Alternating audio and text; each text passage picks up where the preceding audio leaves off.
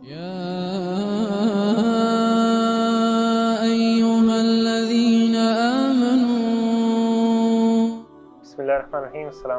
Welcome to another episode of Ya Yuhalladina Amanu with Nasiha आज हमारे पास सूरह हशर के आखिरी रुकू की पहली आयत है। ये मशहूर रुकू है जिसकी अक्सर नमाज़ में भी तिलावत की जाती है।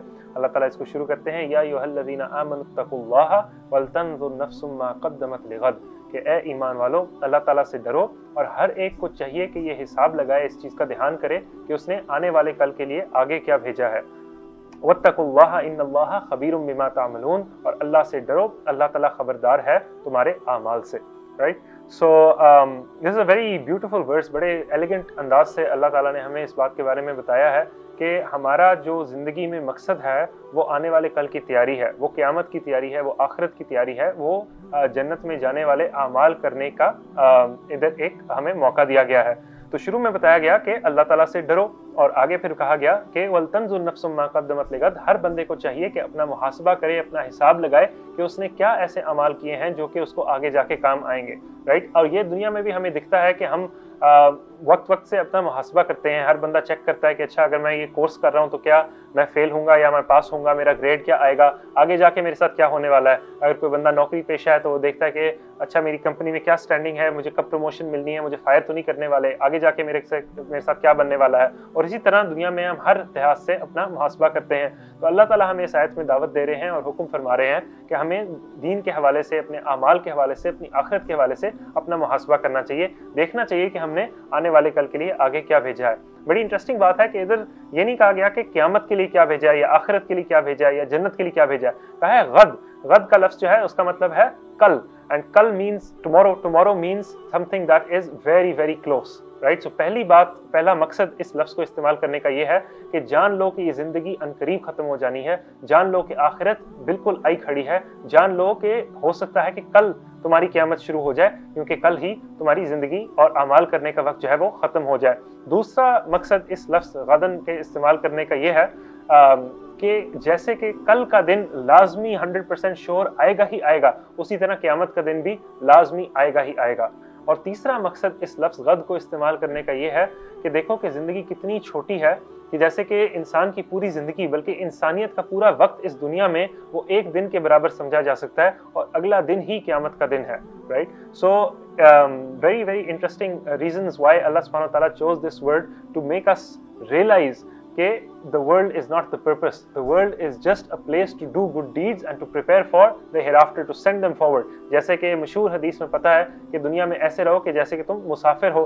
तो हमें um, मुसाफिर क्या करता है? अपने सफ़र के दौरान अपनी मंजिल की तैयारी करता है। उसका सफ़र मकसद नहीं होता। उसका सफ़र जो है एक ज़रिया होता है मकसद तक पहुँचने का। और अगर बंदा कोई माइग्रेट कर रहा हो, एक मुल्क से दूसरे मुल्क जा रहा हो तो आमतौर पर क्या करता है? पहले कुछ तैयारी आगे भेजता है। पहले कोई अपने एसेट्स भेजता है, पहले अपना सामान भेजता है, पहले उधर घर खरीदता है, पहले उधर तैयारी करता है कि मैं जब आऊँगा तो मेरे लिए उधर आसानी हो, मेरे मेरे लिए सहूलत हो। तो इसी तरह हमने दुनिया में जो अमाल करके आगे भेजने हैं, वही हमें आखिरत में काम आएँगे। वही उधर की करेंसी हैं वही हमें उधर फ़ायदा देंगे। तो अल्लाह ताला हमें इस बात को के, के बारे में बाखबर कर रहे हैं कि अपनी दुनिया को अपने अमाल के करने के मौके को गनीमत समझो और इससे पहले कि वो कल का दिन तुम्हारे पर पहुँच जाए तुम अच्छे अमाल करके उसकी तैयारी कर लो।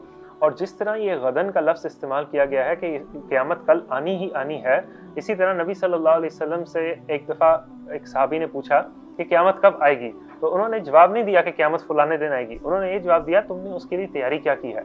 और रियली हमारा मकसद ये है और इस आयत में भी हमें यही बताया जा रहा है कि हम यू नो याजूज माजूज के आने में दज्जाल के आने में ईसा के आने में इन आ, बड़ी इंटरेस्टिंग और दिलचस्प डिस्कशन में पढ़ने की हमें ज़रूरत नहीं है। हम हमें जो चीज़ इंटरेस्ट करनी चाहिए हमें जो चीज़ की तरफ़ गौर करना चाहिए वो ये है कि हमने क्या तैयार किया है आखिरत के लिए। अल्लाह ताला जब हमारा नाम अमाल खोलेगा तो उसमें क्या देखेगा कि हमने आगे क्या भेजा है।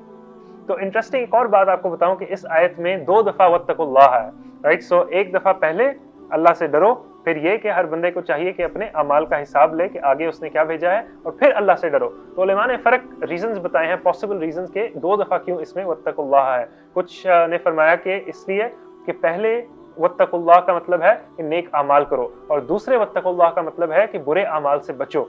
कुछ ने फरमाया कि इस तरह है कि पहले वत्तकुल्लाह से मकसद यह है कि नेक अमाल करो और दूसरे वत्तकुल्लाह से मकसद यह है कि ensure that your good deeds are not wasted यानी कि जो तुम नेक अमाल कर रहे हो तो उनको इखलास के साथ करो, उनको सुन्नत के मुताबिक करो, उनको अच्छी नीयत से करो, उनको सिर्फ़ अल्लाह ताला की रजा की खातिर करो, ताकि ऐसा ना हो कि तुम्हारे अच्छे अमाल जो हैं, वो ज़ाया हो जाएँ वो तुम्हें फ़ायदा ना दें आखिर में। और फिर आखिर में फरमाया इन अल्लाह खबीर बिमा तामलून के बेशक अल्लाह ताला खबरदार है तुम्हारे अमाल से, अल्लाह ताला नोज़ योर एक्शंस अल्लाह ताला knows whether you doing them sincerely whether you doing them properly whether you doing them with the intention of pleasing him and preparing for your hereafter so अल्लाह ताला से डरने का इस आयत में दो दफ़ा हुक्म दिया गया that shows how much taqwa is important in our deen. और अगली आयत में फरमाया, वला तकूनु कल्लदीन नसुल्लाह फअनसाहुम अनफुसहुम उलाइका हुमुल फासिकून और ना बन जाओ उन लोगों की तरह जिन्होंने अल्लाह को भूल डाला अल्लाह ताला ने उनको अपना आप भुला दिया। यही लोग जो हैं, वो फासिक हैं, वो नाफरमान हैं। तो इसका क्या मतलब है कि अल्लाह ताला ने उनको अपना आप भुला दिया? अल्लाह cause them to forget themselves यानी कि when they forgot Allah when they chose to live a god free life so then they became unaware of what is good and what is bad for them उनको खैर और sir की, अच्छे और बुरे की, हलाल और हराम की तमीज़ ही ना रही, फ़र्क ही ना रहा।